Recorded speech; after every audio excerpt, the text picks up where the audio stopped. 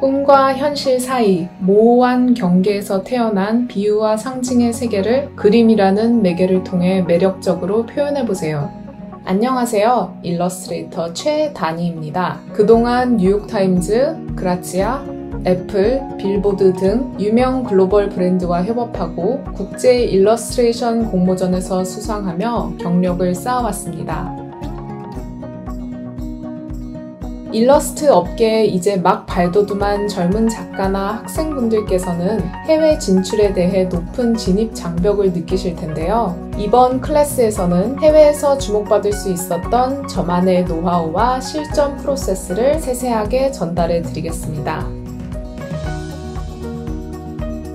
클라이언트의 이목을 사로잡기 위해서는 작품 속에 나만의 스타일을 담아내는 것이 매우 중요합니다. editorial, 광고, 매거진 커버 등 다양한 일러스트를 함께 그려보며 여러분께 맞는 커리어를 찾아드리겠습니다.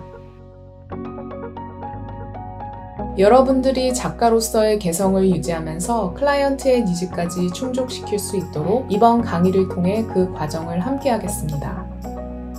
저는 일러스트레이터 최단입니다. 폴로소에서 기다리고 있겠습니다.